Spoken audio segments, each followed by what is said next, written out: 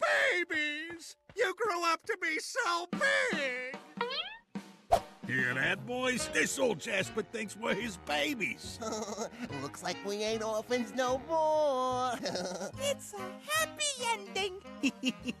Now it's time to make Elder Kettle's famous baby stew.